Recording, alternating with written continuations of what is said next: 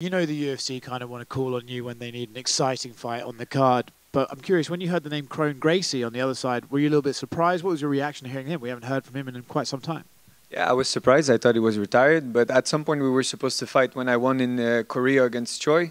I, I, I was uh, pushing to, for the fight against uh, uh, Cub Swanson, and they just had a very good war, and uh, maybe they wanted to build up a fight with me and Kron. Then I would fight uh, Cub afterwards. So yeah, it was something that was uh, meant to be. So when they called, I was not that much surprised. It was just the, the fact that he's been out for a while.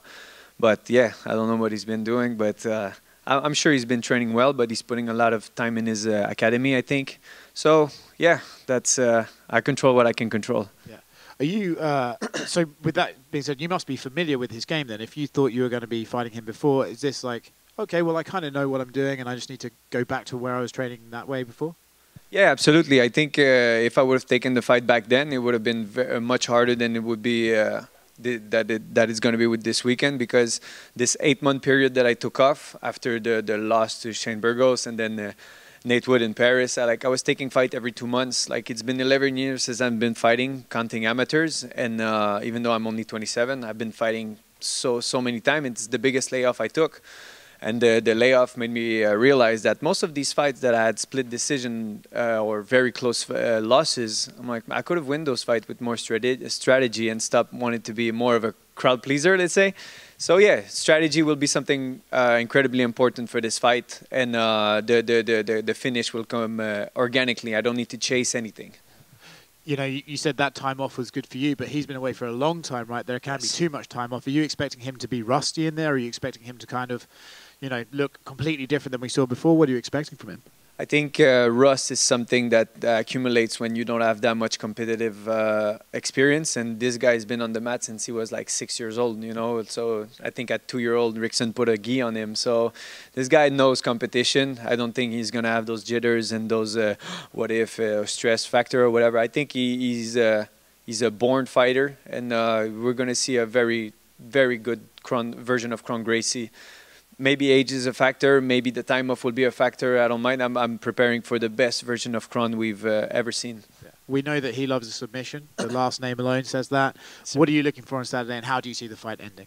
Uh, I see the fight ending because uh, he takes too much shots. I think uh, in his fight, let's say with Cub, and uh, maybe he's going to try to go for takedown right away and uh, because uh, you saw his gas tank go very uh, down very fast against Cub, and Cub did uh, had a phenomenal game plan. So that would be uh, I'm gonna have a very similar strategy in terms of uh, more strikes with the hand, and then yeah, just let him eat as much shots he wants to eat. And I think I think I have very good hands. Most of my finishes in UFC are all hands. My career, career in TKO as well. So even though they, they, they phrase me as a Muay Thai fighter and a kickboxer, I, every time I knock someone down is uh, with uh, hands. So yeah, that's going to be the factor. It's hands against a, a shark who's trying to, to drown you. Thank you. Over here. How you doing?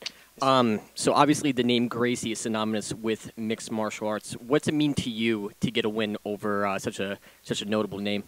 It's good. It's a perk. It's something uh, like some people would like to, to brag about. I'm not a big bragger myself. I think uh, it's it's it's good. It's good for publicity. People will rem uh, will remember at the end of my career be like, oh, you fought a Gracie. It's good and everything. But like uh, having a coach, my, my master Fabio Landa, who's, who's Brazilian, he was around all these guys uh, in Sao Paulo and uh, in Brazil and everything. So yeah, I'm not that intimidated by the name Gracie. I watch a lot of fight like uh, Almeida against Pat Cote. I watch uh, Roger Gracie against Tim Kennedy. I think that is so. I see those very high level jiu-jitsu guys who people are very intimidated and then performing not to what we expected them to to to, to perform the way.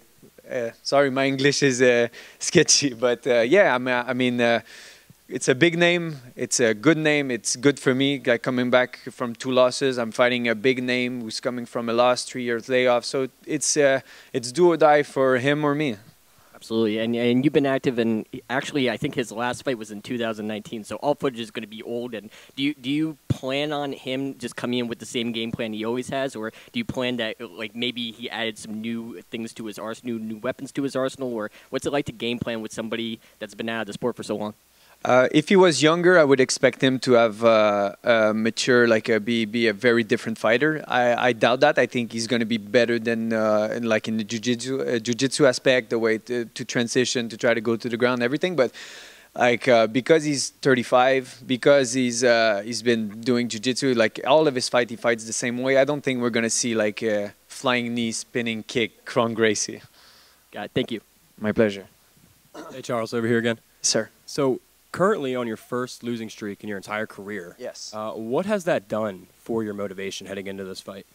Uh, eh, of course, you have this factor like your brain is is uh, telling all the worst outcome possible, and it's like, oh, if you lose this one, maybe you're going to lose your job, all of this. But this is uh, this is pressure. This is pressure I brought onto myself by performing not to my best, the best of my ability. Uh, especially in the fight in Paris, I was I re- just wanted to fight in Paris more than I wanted uh, to to to win. I, I don't know. I, I did some stupid stuff, but now this uh, eight months layoff made me realize, man, I got I got the potential with a proper strategy. I can I can I could have beat most of the guys that beat me, and uh, I'm uh, I, I need to level up. If I want to stay in the UFC, I need to level up. If if not, it uh, well, the door will be shown at me. So yeah, I need to prove that I'm a better fighter. I'm I'm only I know I know it's old, but not that old. Let's say like champions are like 32, 33. That's mean five years, six years. That's a long time for me. So I need to take uh, more time in between fights. I think I was fighting every two months in the last year. So that, that layoff helped me tremendously to, to mature as a fighter. And if everything goes well this weekend, you stay healthy. Any chance at a quick turnaround? No. UFC no. I'm not. I'm, I did that too many times. Like uh, even if all of my fights in UFC, like uh, there's so many late replacement. Like the Erosa one, I was supposed to fight the English guy. Uh, I don't remember his name. Then oh, four days it's him. No, it's him. Then choose. Like I, I w- I always said yes to everything, but now I accepted the fact that proper pre- preparation is very important to have uh, the best to perform to the best of your ability. My pleasure. That's it. Oh. I just hello. Yeah, just wanted to get your thoughts on the main event and how you think it's going to play out between Sterling and Cejudo. Uh, it's a very good uh, question. Like, uh, like people, uh, I- I'm a big fan of the sport as well. So you know, watching the the, the whole the Aljamain, uh, like the the knee, then the, the the close decision with Yan, and then the the shoulder popped of. Uh, of TJ, uh, I truly agree that uh, if if uh, Sterling can beat Cejudo, that that solidify him. But he's the champ. I'm I'm not a, a Sterling hater. I, I like the guy. And uh, when it comes to Henry Cejudo coming back, the layoff, his mentality, I saw him train yesterday, man. This is something else. This is why Cejudo is such a, a, great fighter, man. His mentality, the way he speaks, the way he carries himself, a very great man. So, and Sterling is, is very big.